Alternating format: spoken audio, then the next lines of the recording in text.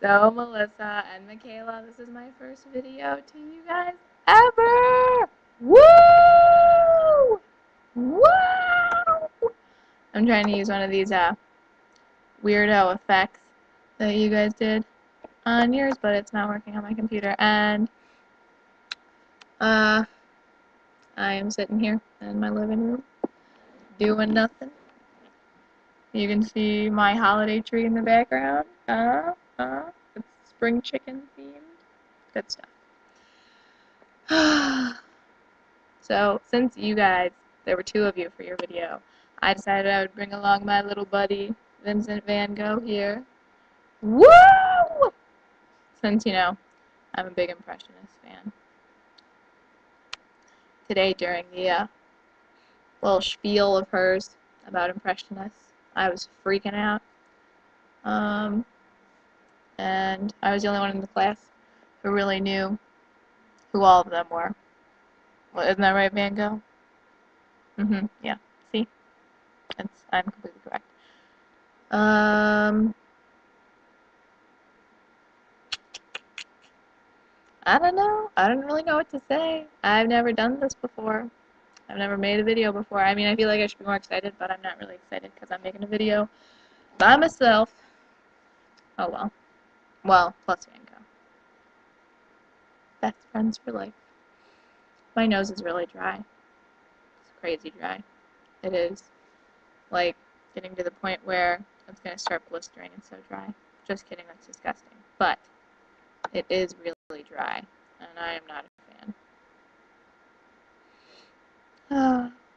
Oh well. Such is life. Such is life. And then I go and I like, I'm rubbing my dry nose because it's so dry and itchy, and it kind of looks like I'm picking my nose, I'm sure, to people. And uh, that is not the kind of image I want to portray. Not at all. Not at all. No! I feel like Tabitha would appreciate this just because it's so creepy and weird. But, um, oh well.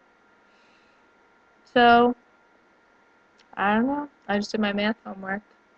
That was pretty boring. I'm not gonna lie.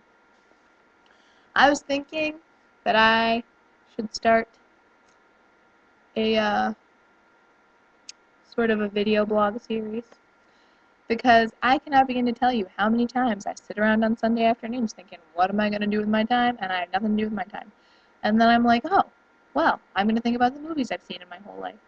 And my sister told me I should because I've seen quite a few movies. I mean, my sister never positively suggests, well, sometimes she gives me positive suggestions, but a lot of times they're just suggestions that she thinks are positive. But I don't know. But so she said that there's this kid in like California who's like seven years old or something, and he has his own podcast about movies. And apparently he says that um, some movies have the Bry factor or something like that. He has a really, really stupid sounding name. And he goes around and he's like, oh no, no, there, um, it's not Bry factor. But that would be good if his name was Brian. His name's Josh, I think. And so he says they're Josh-tastic videos or movies. And it's just like, apparently the kid said, it's like combining my name, Josh, and the word fantastic. And my sister said that it was just the dumbest thing she's ever heard. And she figures if that doofus can have a uh, video blog series, then so can I.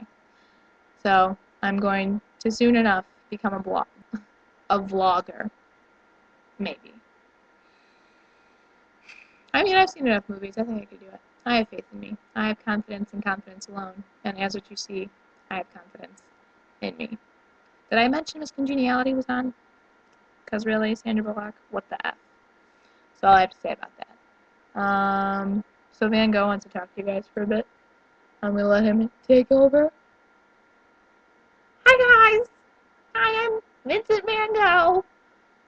It was suspected that I was gay when I was still alive, and I lived in France with my brother, and I was a very disturbed man. Very disturbed almost as disturbed as I am making this video to you. Oh my god! Uh, poor Vincent. That guy just has so many problems that it's unbelievable. I don't know what I'm gonna do when I have to live alone eventually. I mean, I'm just gonna end up making videos of Gogh all the time. He's gonna be sitting here narrating his life. We'll be drinking tea, and people. I will never get a job. I'm sure. No, I'm just kidding. I would never actually do that. If I was going to have tea with any puppet, it would be Lemony Snicket. Like I tell people I do anyways.